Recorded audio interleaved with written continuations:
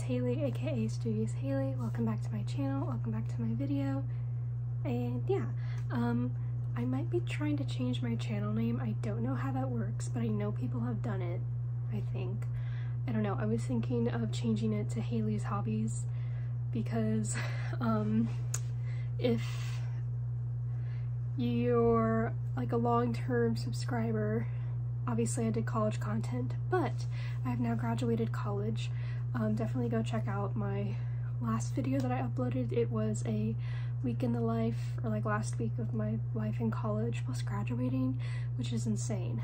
Um, yeah, but if you're new here, hi, my name is Hailey. I recently graduated with my bachelor's of science in microbiology. I'm currently job hunting, which is a pain. Um, and I yeah, so we're kind of changing my channel content because I don't really do study stuff anymore, I guess. I'm not really planning on going to grad school at the moment, so I don't know. Uh, study content might be few and far between. Um, but I have been wanting to change up my channel content because I've just been wanting to. I really love talking about books and I love talking about knitting like I knitted this cardigan and I'm making a sweater right now. So I really want to talk about that, which is why I'm thinking of changing, I guess, my little channel name to Hailey's Hobbies if I can, um, or something to do with just something not that doesn't say studious maybe i don't know yeah. anyway so as you can see by the title of today's video we are doing a what i read in may video i keep wanting to say vlog but it's a video um, I'm going to take you through all the books that I read in May. I have read one, two, six and a half books. I'm going to finish up the seventh book today or tomorrow, and so I'm just going to count that as finishing it to like it during May. Um, but let's just go ahead and get into all the books and everything that I'm reading. Um, I've had a really good reading month. I have been on and off with reading this semester just because I've been knitting a lot and I get really obsessive when I knit and so I just haven't been reading. But I took a bit of a break from knitting in like early May so I could also focus on my finals um, but then I also read a lot. But I did great. We got all A's and one B for my last semester which is good. Um, but yeah I read a lot of good books this I keep wanting to say semester this um, month. A lot of these are five star, actually, I think almost all, hmm, one, two, three, four five star reads so far, I think. And then maybe a potential five star. Um, I'm not done with the book yet, but I will get there when we get there. Um, but yeah, I have my reading notebook here, so we'll be talking about this. Cool, so let's go ahead and get started. I don't have all the books with me because I have checked a couple out from the library that I have since returned. And then me and my roommates have like a little library in our living room where we just like put books on there and like take them out and whatever and like share them amongst each other. Um, and so a couple of like three of them I borrowed from my roommate um, which I could go and grab but I'm lazy. So I'll just put up like pictures right here of the books that I'm talking about. Um, and show you the ones that I have, which are two. so yeah, anyway, the first book that I read in May was Spillover by David Quammen. Um, this is about like zoonotic diseases, so diseases that infect animals and then potentially pass into humans. Um, and it kind of talks about like what could be the next pandemic um, in humans. And this was really good. I gave this five stars. Um, one of my favorite books that got me into microbi or the the one book that got me into microbiology was the hot zone it was it was the hot zone i read this like freshman year of high school and immediately i was like ooh infectious diseases microbiology beautiful wonderful mwah, mwah. Um, and so um, I've always had a love for like science books and I have like a bunch. I've been seeing it in Barnes & Noble for the past couple of years but I just haven't gotten around to buying it because I've always been like, oh, no, not this time, maybe next time. Um, but I finally bought it, um, and I am obsessed. I feel like I don't have to read any other, like, science book about infectious diseases because I feel like this was just the full, like, just everything I needed in life in terms of that.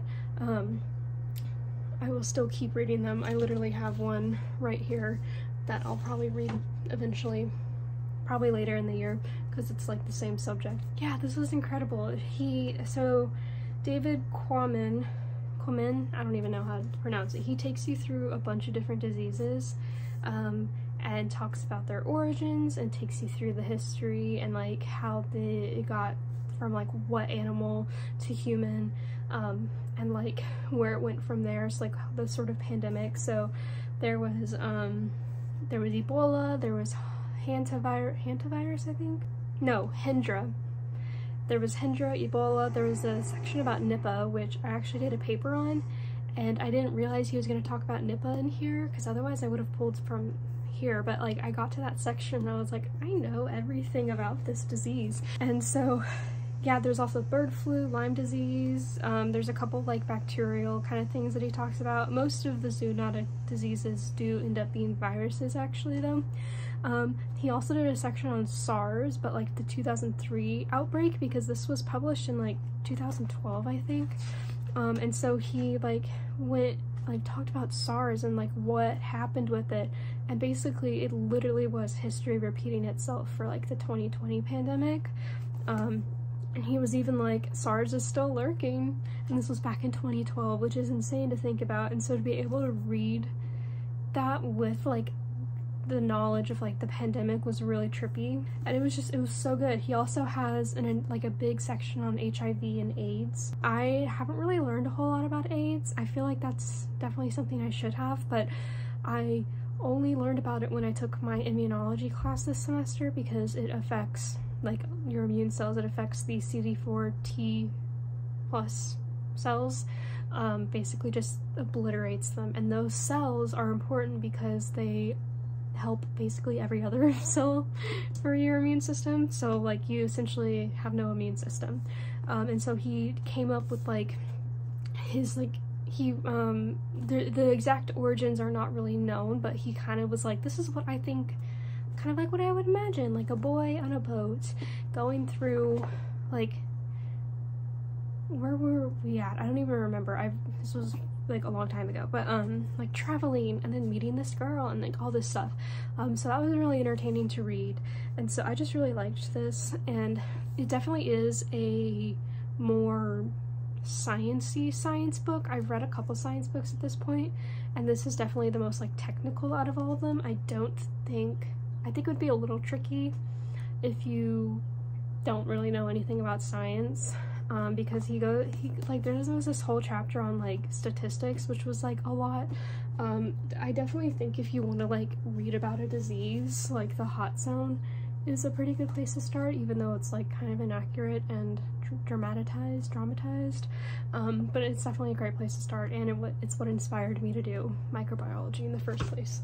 Um, yeah, still really love this book. I gave it five stars and yeah, that's spillover. So the second book that I read in May was A Natural History of Dragons. I don't remember who this is by. This was by Marie Brennan and I really love this book as well. The rating though has gone down.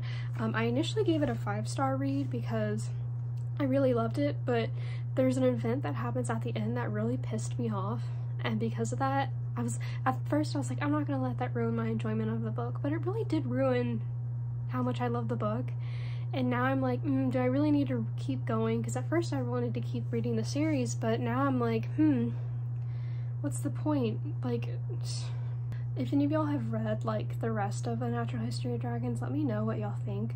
Um, I'm trying to get a library card, so hopefully they have like the next couple books because I at least want to get the first book because partly because the cover is just stunning.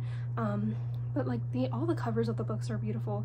Um, but I think I might get the second book from the library before I commit to like buying the whole series. But anyway, so A Natural History of Dragons is basically about this girl, um,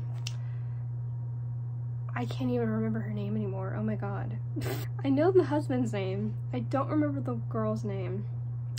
Um, but basically, she loves dragons like is just absolutely obsessed with them ever since she was a kid um, and would keep like all these little I think they're called sparklings like the little baby dragons like little not babies but like little tiny dragons that she would find around her garden and she would keep them and like um, preserve them and then like study them and all this stuff um, and then there was like an event that happened where she kind of like pulled away from dragons and then kind of like similar to me she found this book called a natural history of dragons and that's what inspired her to go into like dragon stuff. Um also it's set i'm i really i keep going all over the place but it's set like in victorian time not i don't know it's kind of it's not like this is london and this is england but like it has like those vibes of like regency kind of Victorian. I don't think it's Edwardian. I don't even know what I'm talking about. Back to my point. Um, like an event happens and then like she doesn't study dragons as much anymore and then like she has to get married. Um, and all this stuff happens and eventually she travels to this one place where there have been a lot of dragon attacks um, and they don't know what's going on and so her and like her group of people have to figure out why there are all these dragons attacks and see if they can stop them. Um, and it kind of takes it through the guise of like almost like scientific journal kind of thing where she'll like share her observations and stuff. But like in a really good way. I was i was a little apprehensive at first which was why i checked it out from the library because i didn't want to read it and not enjoy it and then be upset that i spent the money on it you know but it definitely it's definitely like just like a typical novel but like she like in kind of goes like dear reader like uh continue at your own risk um so kind of like because it's a it's um like a memoir I'm so bad at explaining this. Anyway, it's a memoir. It's like her memoir that she is sharing about her travels. And so occasionally she'll pop in and be like, hey reader, da da da da da. Um, and so, and like sometimes there's little notes where she's like talking with their editor, like, I'm putting this in here, I don't care. and it's really good. I really liked it. I think it was a good balance between like having that kind of memoir aspect versus like just your typical novel. I felt like there was a good mix of that. So I really enjoyed it. Um, and so now I'm kind of tempted also to pick up the second book actually now I'm not as apprehensive. But yeah, I really loved it. It was initially a five star, but because of an event that happened at the end, I, I'm bringing it down a bit. Um, it was merely for like, ugh, I don't want to say it because I don't want to spoil it, but I'm just annoyed with it. It's down to like a 4.5, 4 star. Maybe, I think maybe I'll do a 4.5 because I still love it and I would really love to, I think I would really love to pick up the next couple books. I also did a spread in my bullet journal or not bullet journal, oh my gosh, book journal. Um, so yeah, so that was the second book that I read in May. And then the third book I read in May was a complete shock. Um, I didn't expect to love this as much as I did. So it was A Witch's Guide to Fake Dating a Demon. And I just picked this up on, on a whim at Target. I was picking up light bulbs and I went into the book section and I saw this book and I was like, that's a really cute cover. And then like, I read the the blurb and I was like, that actually sounds really funny. So basically, you have um, Mariel, I think is her name, and I cannot remember book names for the life of me, um, but she's the witch, and she's more of like a naturey kind of witch. She loves her plants, um, she loves baking, and all that good stuff, um, and so like she's really good with plants and kind of is able to like get them to bloom when others can, kind of like save them from like the brink of death, right? But her family really doesn't respect that. They don't really see that as like strong, good magic. And like there was a prophecy where she was gonna be like the most powerful witch in like however many generations for that family. Um, and so they're kind of like, you deal with plants, like there's nothing there, you know? Versus like other things like teleportation which I feel like doing stuff with plants is a lot more cooler than teleportation. Anyway, and so one day she's making she's baking something and she goes to summon flour but she accidentally summons a demon named Ozroth and so this whole like and what she doesn't realize is that she um, summoned it with like a soul bargain and so basically what she can get whatever she wants but he takes her soul at the end of the day um, and so once she figures it out she's like what the heck and so she keeps trying to like send him back and it's all this stuff and so it just follows them through um, their relationship and like all these crazy things that happen because there's stuff that's happening to her town at the same time and like there's like this disease that's spreading across like the forest. There is a fuzz in my drink. And so it's just, I did not expect to love this as much as I did. I gave it five stars. I was just, it was so good. It was so entertaining. I haven't, I don't think, read like a witch YA contemporary sort of novel before and so this was just so fun to read and I really love like the little aspects of aspects of magic throughout the day. I really love the relationship with Oz and Mariel and I feel like the tension there was wonderful and I felt like it really was drawn out perfectly. The there's always like a third act conflict with YA contemporaries which I always hate and there was that here but I feel like it kind of went a little bit too quickly. I felt like the, there could have been like another chapter or two in the book to really round things out and not... Hello, I'm back. My roommate got mail. Anyway, so I think what I was saying was that I think it just kind of wrapped up a little too quickly. Um, I would have loved like another chapter or two.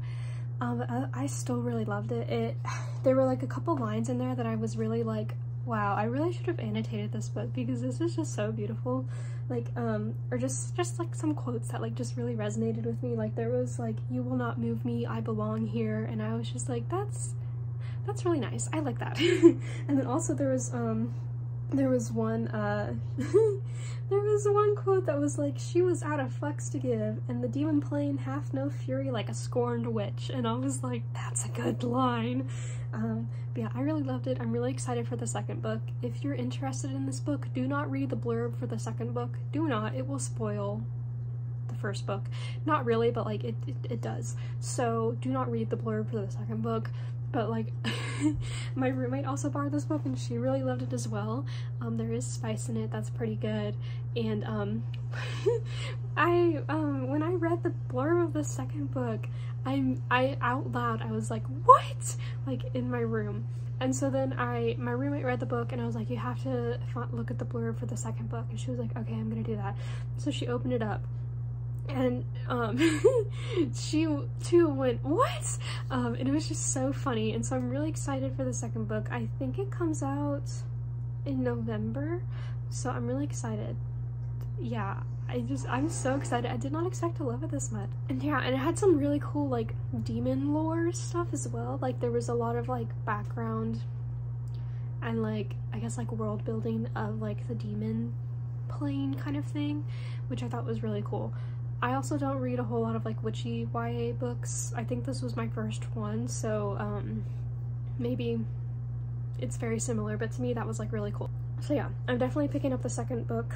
Um, I read it in like two days. I was so excited, or I really loved it, um, and I am just so excited. Okay, anyway, next book. So the fourth book that I read in May was Astrid Parker Does Not Doesn't Fail? Yeah, Astrid Parker doesn't fail. So it's the second book in the Bright Falls trilogy. The first one is very famously Delilah Green Doesn't Care. I love Delilah Green with all my heart. and so the second book came out and me and my roommates were really excited. So I um, borrowed it from my roommate and I read it and I really liked it as well. I don't know if I did a spread on it actually. I didn't. Um, I think I ended up giving it just four stars. Um, I don't remember why.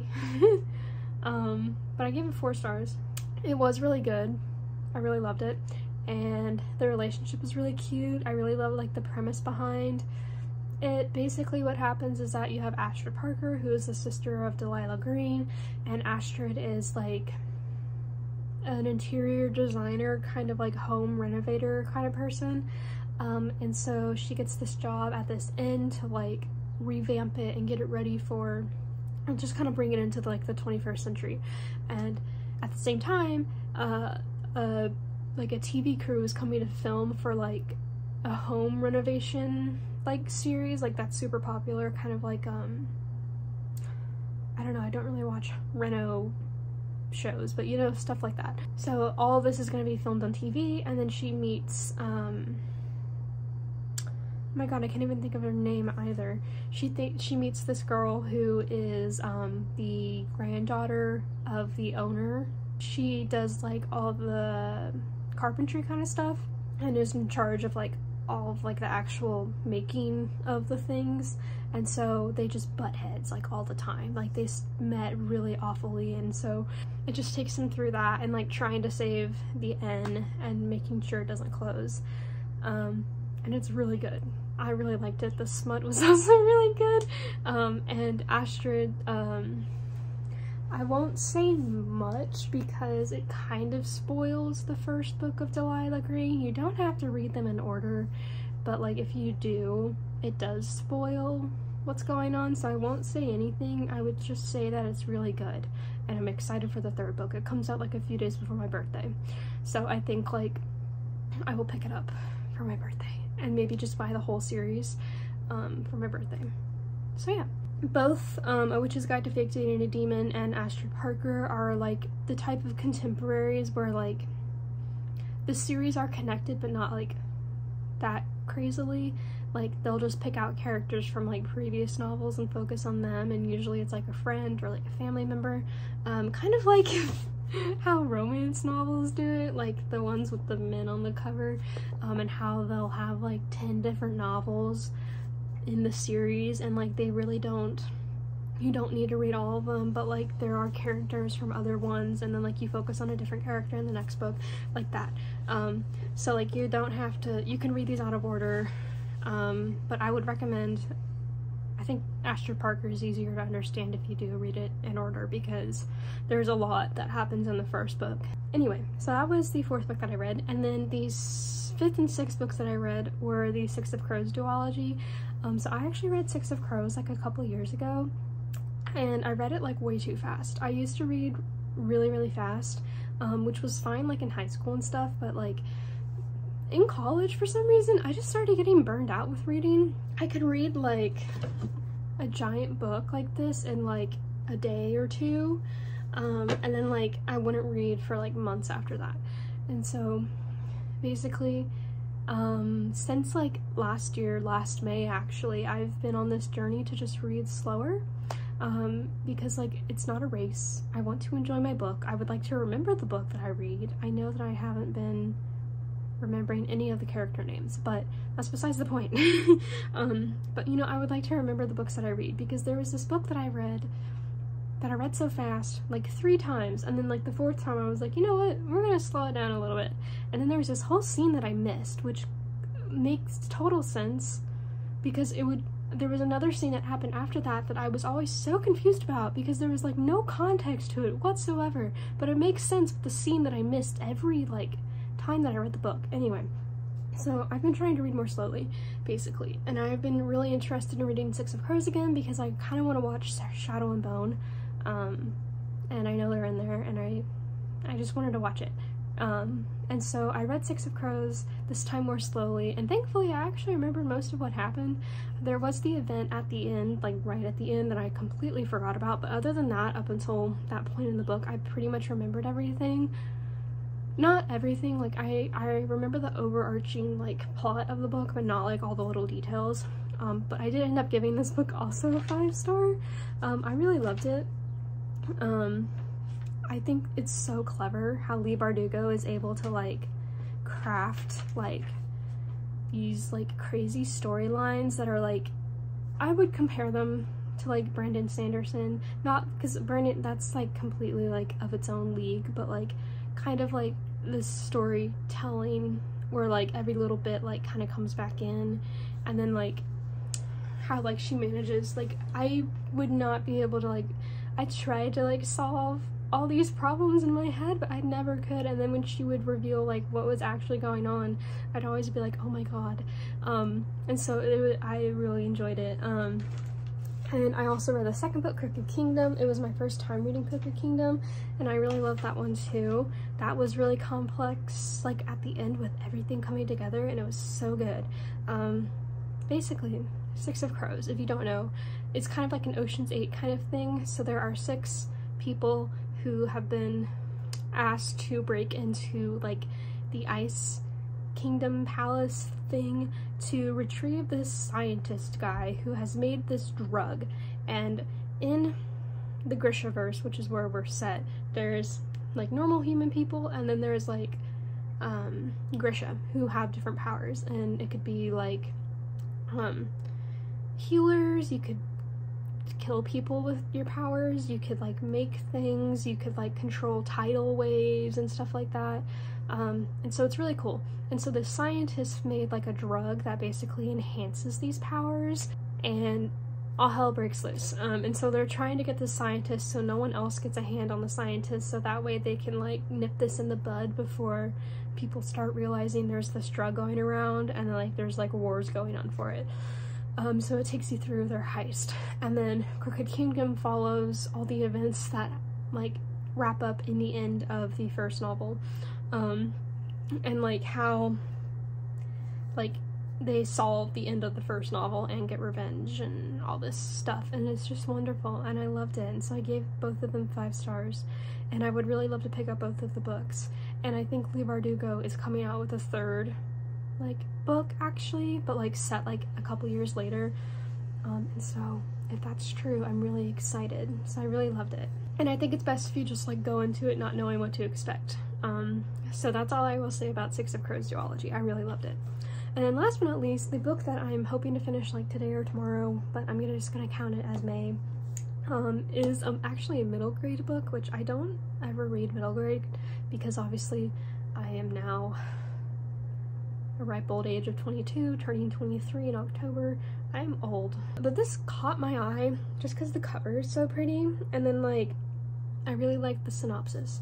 So this is Spineless by Samantha San Miguel and I got this from Barnes & Noble. I saw this like in April and it was their Barnes & Noble like book of the month and I believe it's like she's a local author here to Bryan College Station which is really cool and so I was happy to like support that but um at the time I didn't get it in August or April because yeah April because I was like eh maybe not and then I um spent a lot of money in May after I graduated. I had some money that I had saved since like freshman year.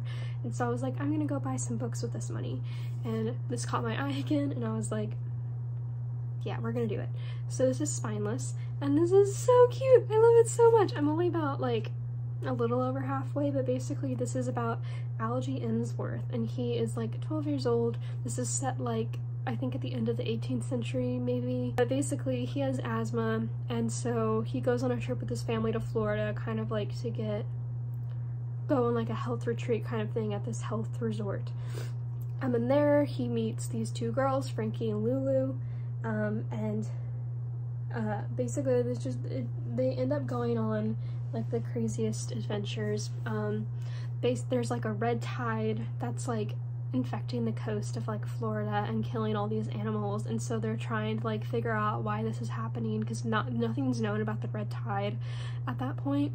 And then also they find um a, like a new species and so then they're trying to protect the species because there's this obviously like this villain guy. I won't say who because that kind of spoils it I feel like a little bit. Um and so they're all trying to do this also while trying to save the hotel because the hotel's going bankrupt and then but there's like a curse and so they're just trying to do all these things and it's just so cute and like they all want to be naturalists and like scientists and so they have their little notebooks and like they take their notes and they have like microscopes and it's, it's so cute! I love it because when i was a kid i was obsessed with like so many different things i loved di i loved dinosaurs i still love dinosaurs i was obsessed with sharks space. There was even like a horse phase in there. I loved fairies. Um, and like I had, I distinct, very distinctly remember this. I have the had the spiral yellow notebook. Um, it was like a wide world notebook and it was for my shark notes. And like I would check out so many shark books from the library and I would buy so many shark books watch so many shark things. They were like they used to have National Geographic documentaries on Netflix. They don't have them anymore which really sucks. But I would have like my notebook and I would write my little notes and I would draw my pictures and then I would make my handwriting like intentionally messy because I was like that's what a scientist's handwriting looks like um, and so this just really spoke to me yeah I'm so happy I picked this up because it's so cute and it's really like very um, there's like a lot of it's not just like a kid novel. There's like a lot of other stuff like Algie, um, Algie, Algie.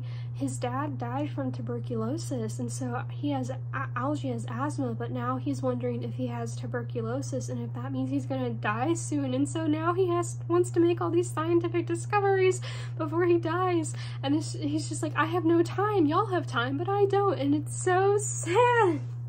Ah. And so anyway, I love this so much so far. I'll, I'll probably give it five stars because it's just the memories and like, I just, it's good vibes. And the cover is stunning. Like look how pretty this cover is. This is beautiful. I really love this book and I'm excited to finish it. Um, we'll finish it tonight maybe or tomorrow who knows. Those are the seven books that I read in May, a really good reading month. I haven't read um, this much in a while. Um, but I'm very happy and I'm excited to keep reading for June and July, obviously. Hopefully I find a job soon so I can buy books because I need money to buy books and yarn for my knitting. Um, but yeah, anyway, thank you guys so much for watching. I hope you guys enjoyed this video. I know it was a bit all over the place. This is the first time I've, I'm doing like what I read in May book video. So, um, yeah, I'm getting the hang of it. But hopefully you guys like this. Um, and I think when y'all will see me next is maybe a summer book haul because I filmed that. Um, I bought I bought some books for summer. Um, and yeah, and then I'll maybe the occasional knitting video and yeah.